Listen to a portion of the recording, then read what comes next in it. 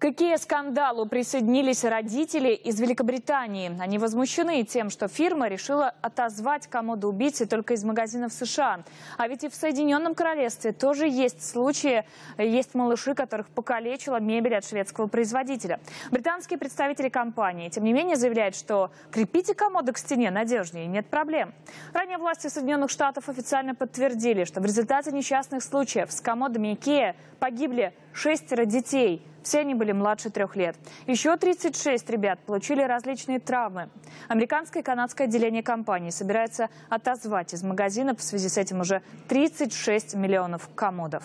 Как оказалось, дети пытались забраться на мебель и не прибитую к стене. И в результате тяжелые комоды полный возврат средств покупателям.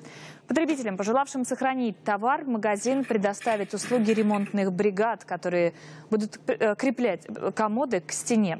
Ранее Kia уже отозвала защитные воротца «Патрул», получив несколько сообщений о том, что они неожиданно открываются, а дети из-за этого падают с лестниц. Тем не менее, отзыв мебели коснется только США. В других странах компания продолжит продавать как комоды, так и воротца. Ограничивается лишь тем, что призывает покупателей крепить мебель к стене покрепче. Россияне, задолжавшие банкам, могут теперь лишиться сотовой связи. В ближайшее время судебным приставам могут разрешить снимать